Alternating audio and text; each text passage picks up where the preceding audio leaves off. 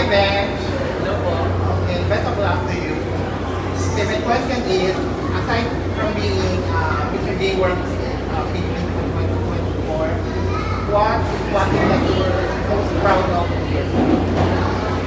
Um, I'm actually proud of all my achievements ever since. And for me, the biggest achievement that I had today is winning the Mr. Game of Philippines and hopefully, and I'm claiming win the Mr. Game World title on August 10th. Okay, next. How was your preparation? Did you study the culture? Yes, um, first thing na ginawa ko is pinag-aralan ko yung culture ng United Kingdom. So, inaral ko lahat, the places kung saan kami pupunta, the museums, the art, the culture. And for the preparations, um, ilang months lang kasi preparations ko. So, mabilisan lang talaga. After kung manalo na dire-diretso na kami ng Mr. Organization uh, towards the planning sa preparation for the international pageant. Mesh, which part of the competition are you most excited about? Um, the most exciting part for me will be the um, closed door, um, closed door interview and the social responsibility discussion. It's more of like uh, presenting your advocacy and um, everyone knows that I joined Mr. World Philippines because I'm up for my advocacies. Why I'm very excited on that segment. Mesh, who do you want, who do you want to be your roommate?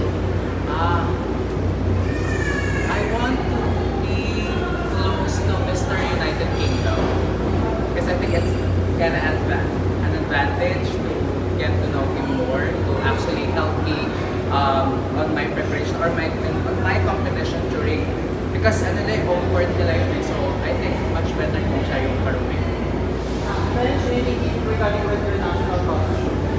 Sorry. In, in, Ah, so yung hint sa um, national costume ko this Mr. World, uh, connected siya dun sa una ko um, national costume during the Mr. World Philippines. So yung designer okay, feedback, sila pala. So ganun, yun yung hint. So parang storytelling siya.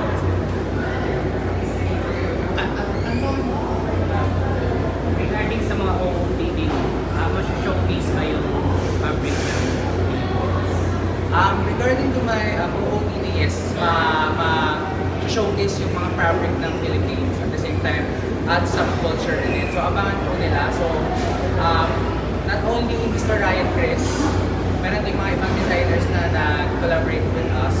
So abangan natin. So medyo surprise siya. Bakit ako nag-surprise ako sa mga sa mga damit na isa. Enjoy. Uh, question. Uh, 14.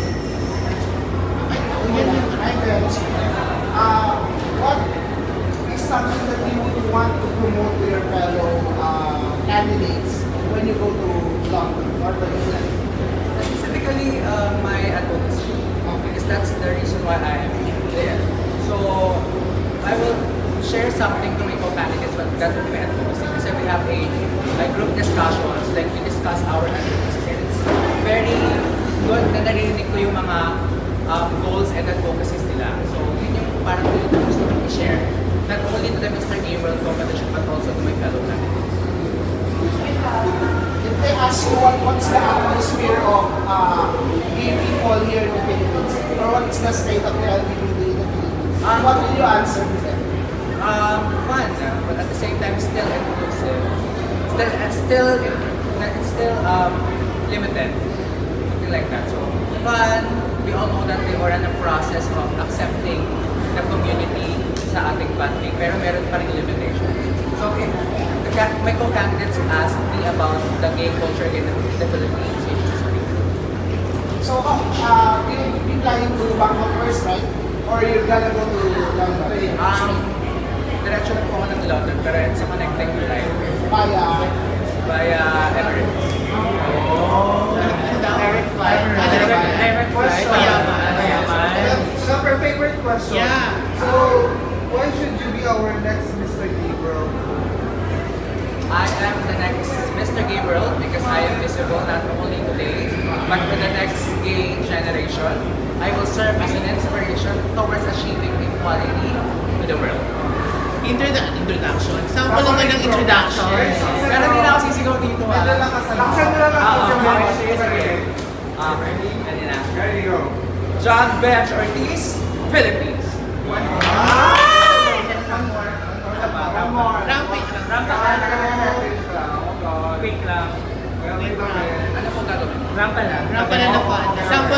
Passerella. Passerella. John Ben Ortiz, Philippines. One two. John Ben, Ortiz, Philippines. Perfect. Perfect. Um, to all my supporters, supporters, uh, keep voting at www.castvote.org. Hihingi po namin ng suporta niyo, magbayanihan lang po tayo para makuha po natin ang titulong. Gay World. Hindi ko po magagawa ito hindi dahil sa inyo, so ngayon pa lang po nagpapasalamat po ako sa inyo. How many days mag-aaral yung pageant? Um, Magsa-start po yung competition um, August 21. So the finals na uh, finals day will be August 26. So 12.30 ng tanghali sa UK.